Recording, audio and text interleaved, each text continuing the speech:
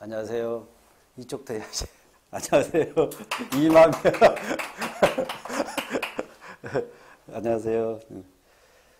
자, 이번 코너는 장명 코너. 그러니까 혹시 명리학 공부하시는 분을 위해서 제가 이 코너를 하나 지금 집어넣습니다. 장명할 때 어떻게 참고하는 게 좋은 건가 이걸 제가 강의를 한번 해보도록 하겠습니다. 장명 굉장히 중요합니다. 유일하게 사주에서 사주에서 보완 보강할 수 있는 게 저는 장명이라 봅니다. 그리고 또 어차피 한번 이름을 지으면 115년, 115년 정도는 가지고 가기 때문에 장명 하나만큼은 잘 지어라. 이 안에 모든 것이 다 들어가 있다는 거예요, 다. 이 안에 다 있소유로 있다는 걸 이야기해 주기 때문에 여기에서 잘 풀면은 장명을 진짜 잘할 수가 있다. 장명은 뭐냐? 보완, 보강하는 작업이다. 보완해주고 보강해 주는 것이다.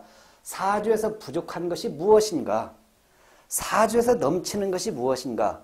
넘치는 것은 극제하고 부족한 것은 상생시키거나 도와줄 수 있는 거예요.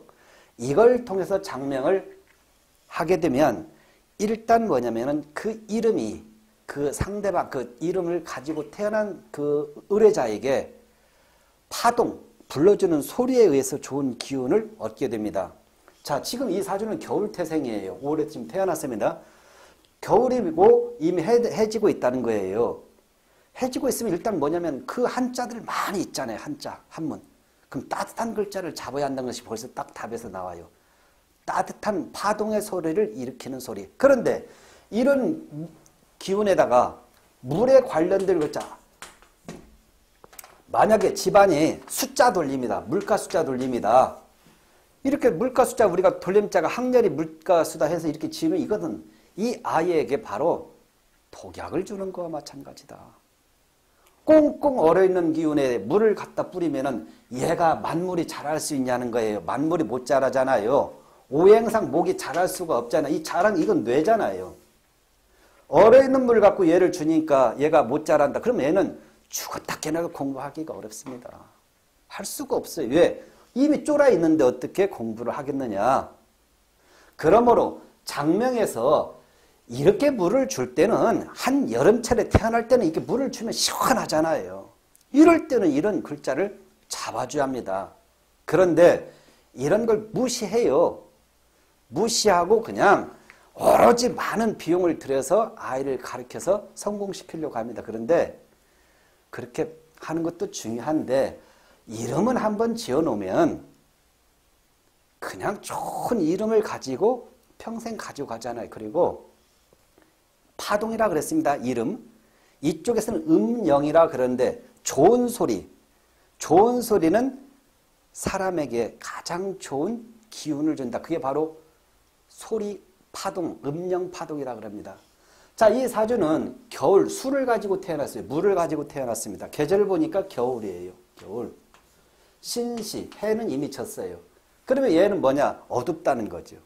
물이 어둡다는 것은 이 아이가 근본적으로 부정적인 시각이 많, 많이 있다는 걸 표현해주고 있어요. 염세적이라는 걸 이야기해줘요. 왜? 화가 없으니까. 화가 있는데 달빛이죠, 여기는요. 그럼 어두운 상태에서 달빛 떠 있으면 남자도 여성처럼 가야겠죠. 그래서 여성적이다 이렇게 표현할 수가 있어요. 또 생각하는 것이 뭐냐? 치고 나가는 힘이 약하고 파워는 약하고 혼자 꿍 한다는 거예요. 그러니까 이런 아이는 키우면서 엄마가 무슨 요구를 하게 되면 이 아이가 말 안 해버려 꿍 하고 그러면 누가 속이 타냐? 부모가 속이 타겠죠. 근데 피해자는 당사자 아이예요. 자 이렇게 나올 때는 벌써 딱 화를 갖고 잡아줘야겠죠. 화. 가장 생명은 화다 이렇게 봐야겠죠. 자 그러면 이것만 갖고 장명하는 게 아니라 바로 여기 지장간을 봐줘야겠죠. 지장간에서 술 속에는 신정무가 있습니다. 신정무인데 얘는 그래도 화기를 갖고 정화를 갖고 있어요. 달빛 기운 그 다음에 그래도 약간은 화 기운을 갖고 있다. 근데 술 속에는 무갑임을 가지고 있는 지장간을 가지고 있는데 얘가 정화를 가지고 정임합을 해요. 합을 해서 다시 뭐냐 이 화기도 없애버리고 있다는 걸 이야기해줘요.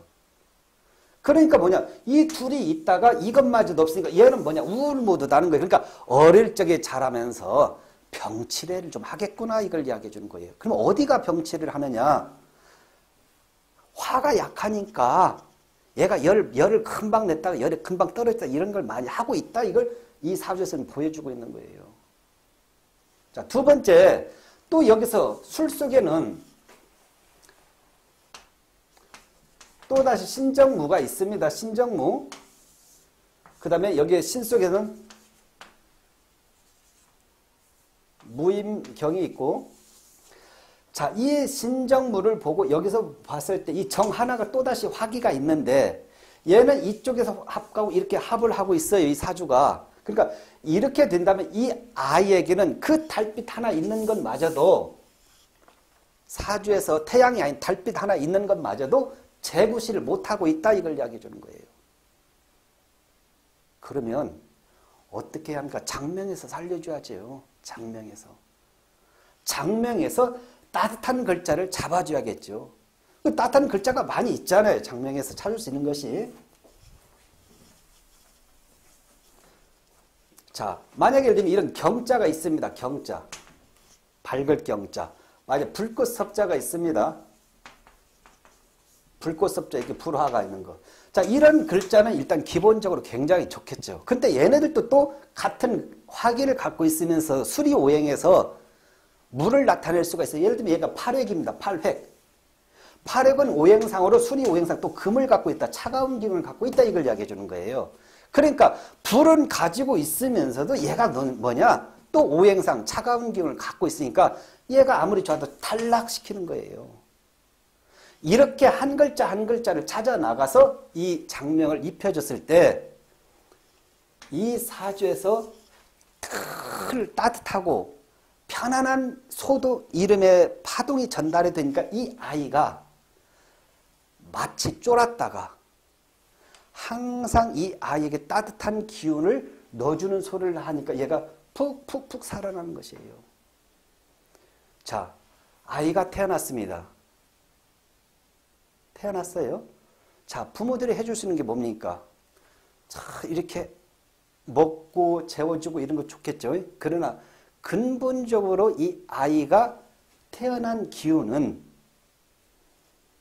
알고 대처했을 때 가장 효과가 뛰어나다. 이 아이가 추운지 더운지 냉한지 전혀 모르고 키우는 것보다 아 우리 아이 사주의 흐름 자체가 어떤 구성을 갖고 있다. 오행상 뭘 가지고 있다. 그런데 얘가 가지고 있는데 상태가 어떤 상태인가를 알게 된다면 이 아이를 더욱더 잘 케어할 수가 있겠죠. 사주에서 화기 자체가 생명이다. 그 다음에 두 번째 뭐냐? 나무 목이에요, 나무 목. 나무목. 목을 집어넣어서 목생화를 시켜줍니다. 목생화.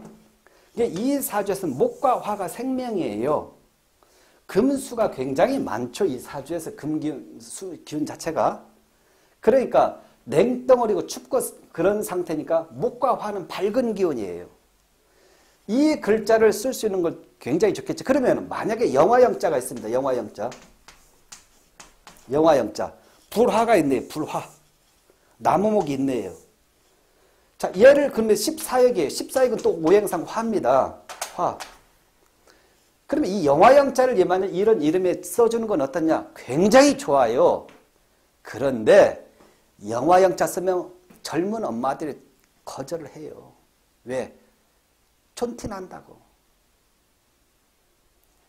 이 좋은 가장 좋은 것 촌티나요. 영자 쓰면은 이름에 재미가 없다는 거죠. 촌티나고 옛날 이름이라고.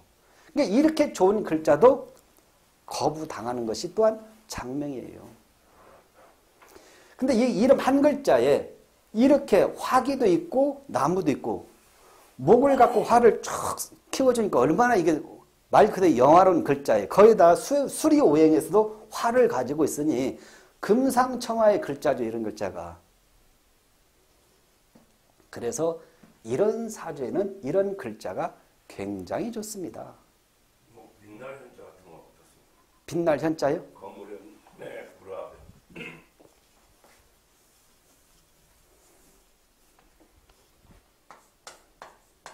거물 거물 현자에 아 이, 이거 말하는 거죠. 예. 자 이게 이 화자는 얘는 뭐냐면 이 화입니다. 거물 현자는 뭘 이야기하면 수를 이야기해 줍니다. 얘는 이미 여기서 박탈된 거예요. 현자가 예? 예, 수가 이미 너무 넘치고 있기 때문에 그래서 얘가 뭐냐면 일반인들이 화가 필요하니까 이, 이 현자를 써줍니다. 그런데 그건 공부를 좀 더 해야 돼요. 이 현 속에는 화기도 있고 수의 기운도 있다. 그래서 이 글자는 쓸 수 있는 게 아니고 또 얘는 구획, 획수예요. 구획은 수리 우행상으로 또 수를 이야기해 줍니다. 그러니까 얘가 불화가 있지만은 이 안에서는 쓸 수 있는 글자가 아니다. 이것을 보여주는데 근데 일반인들은 먼저 장명할 때 이런 글자를 쓰죠. 왜? 아 얘가 추우니까 불화를 집어넣겠다. 그리고 이런 때 불화를 넣는 것이 아니라 얘는 이미 물이에요. 물한테 이런 장작불 넣어봤자 아무 필요가 없습니다. 태양을 넣어야 돼. 태양 자체에 원래는 이런 게요. 근데 이 화가 화 플러스 화는 뭐냐? 그래도 강한 일기운을 갖고 있다는 거예요. 화 플러스 화는 그러니까 오히려 이럴 때는 강한 글자를 잡아주는 게 더 낫게 영화 영자를 쓰거나 불꽃섭자를 써주거나 이런 것이 더 낫겠죠. 그리고 원래는 근본적으로 이것이 더욱더 좋은 글자다. 그러면 뭐냐? 이런 빛을 영자 같은 경우도 좋겠죠, 이게. 태양이 있잖아요, 태양. 태양이 얘보다는 세니까. 장작불보다 세잖아요. 훨씬 따뜻하잖아요. 그래서 그리고 태양은 뭐냐? 공짜잖아요. 공짜. 마음대로 쓰는데 얘는 뭐냐면 인공의 불이단 말이에요. 인공의 불은 늘 노력하면서 내가 나가야 하기 때문에 이왕이면 공짜 쓰는 것이 더욱더 좋다. 무한대로 갖다 쓸 수는 얘가 더 낫지 않느냐? 여기서 보여주는 거죠. 그래서 화와 목을 잡아주면 이 사주에서 화는 뭘 이야기합니까? 재물을 이야기한다는 거예요. 재물을 이야기하고 남자에게는 재물과 아버지와 처 이것을 표현해주고 여성에게는 아버지를 이야기해주고 재물을 이야기해주죠. 그리고 시댁 식구를 이야기해준다는 거예요. 제 자체가. 그래서 얘가 반드시 있어주면 좋겠죠. 그 앞에 나무 목은 뭐냐? 식신상관으로서 꽤 재주, 유연성, 기술성을 이야기해주고 이 목은 또다시 뭘 이야기합니까? 뇌를 이야기해준다는 거예요. 뇌가 햇빛을 받아야 쫄지 않고 가는 건데 햇빛이 없으면 저 나무는 뭐냐? 음지나무가 되니까 평생 삼류로 간다. 늘 밑에서 바닥을 길 수밖에 없다. 이야기해 주는 거지. 바닥으로 가는 자식을 만들 것인가? 자기 역할을 또렷하게 할 수 있는, 만들 수 있는 것인가? 이것은 부모의 역할이라는 걸 이야기해 주는 거예요. 이렇게 해서 이름을 지어서 불러주는 거예요. 불러주는 거. 불러줄 때 그 거기에서 나온 파동, 소리에 의해서 좋은 기운을 얻게 된다. 이름이 단순한 것 같지만 이름은 과학이다. 이름을 하나 짓는 건 과학이다. 이렇게 볼 수 있어요. 김객동, 김철학, 뭐, 뭐, 김명곤 이렇게 만약에 한다면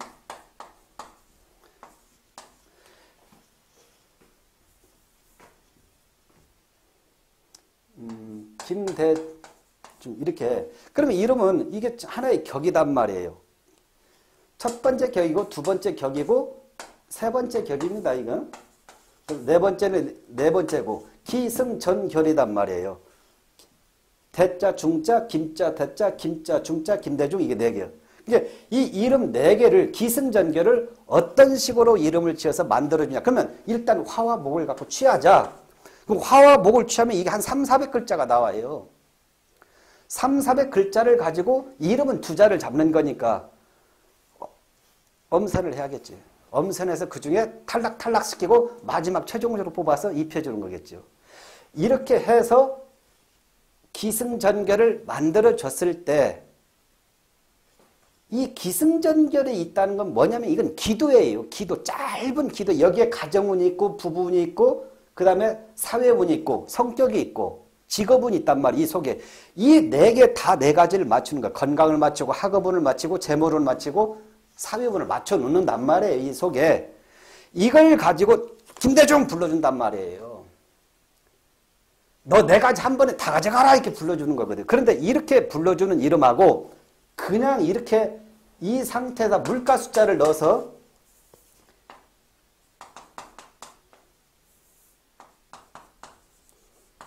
만약 김대수다 이렇게 해줬어요. 김대수면 큰 대자 큰 물이네요. 이렇게 큰 물을 갖고 여기다 가서 부어주면 이 사주에 돌림자가 숫자 해가지고 돌려주면 물바다잖아요. 꽁꽁 얼음 바다가 되잖아요. 얼음은 오행상 목이 살 수 있냐는 거예요. 절대 못 살죠. 이게 바로 이름이다는 그래서 장명 이 동영상을 보시고 계시는 분들 명작 공부하시는 분들 장명 하나만큼 예술로 생각하라 본인들 스스로가 내가 이름 하나만큼 대한민국 최고로 잘 짓는다 이런 생각을 가지고 장명을 임해주시라 저 이 이야기를 하고 싶습니다. 왜냐하면 제가 24년간 이걸 장명을 해오다 보니까 역학인들이 명리학자들이 장명만큼 제대로 장명 하나만큼은 굉장히 재미있는 이 분야의 이 장명 하나를 내가 그 이름 하나를 잘 하나 지을 수 있다는 게 여간 기쁜 일이 아니에요. 내가 이름 하나 준, 준 이름을 갖고 그 아이는 평생 115년을 쓰고 가잖아요. 사주 한 명 푸는 것보다 이 장명 하나가 훨씬 보람도 있습니다. 그러면 어떻게 했으면 좋겠냐? 조금 제가 강의한 내용처럼 사주를 보고 뭐가 부족한가를 잘 참고하셔가지고 장명을 해주시라. 그게 아이에게는 또 의뢰한 장명 엄마 아빠에게는 얼마나 좋겠는가. 그리고 장명한 우리를 또 얼마나 보람을 느낄 수 있는가. 오늘 제가 이것을 설명 한번 해본 겁니다. 반드시 조관계도 보고 전체 흐름에서 지장간끼리 어떻게 이루어지는가를 잘 보고 장명을 하게 될 때 그 장명의 값어치는 굉장히 빛날 것이다. 잘 참고하시기 바랍니다. 네, 감사합니다.